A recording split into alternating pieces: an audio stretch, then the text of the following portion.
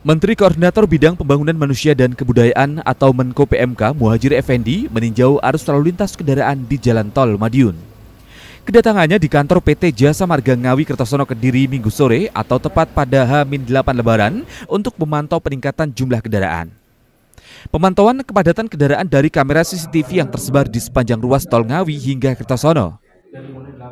Persiapannya matang, tinggal ada beberapa saran saya tadi misalnya uh, supaya setiap pintu masuk ada peringatan pada para pengendara supaya kalau ngantuk jangan dipaksakan supaya istirahat dan tidak harus di rest area.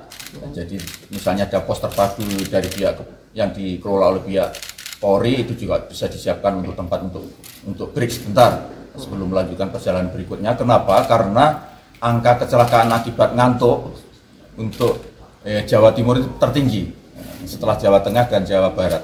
Nah itu diperkirakan karena kelelahan, karena perjalanan berjauh dan memaksakan untuk terus, uh, kemudian uh, karena kelelahan dan ngantuk itulah yang menjadi penyebab kecelakaan. Karena itu tadi saya menyarankan supaya itu di.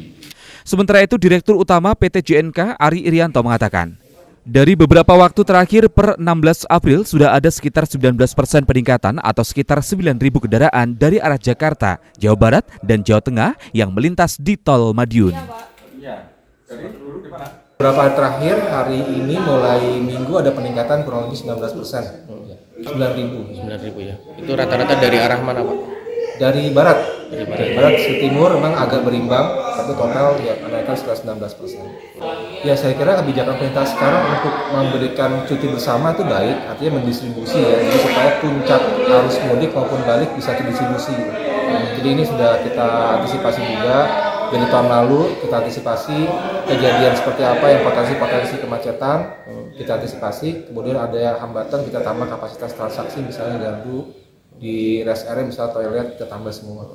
Diprediksi puncak peningkatan arus kendaraan di Jalan Tol Madiun bakal terjadi pada tanggal 20 hingga 21 April mendatang. Tova Pradana, CTV, Madiun.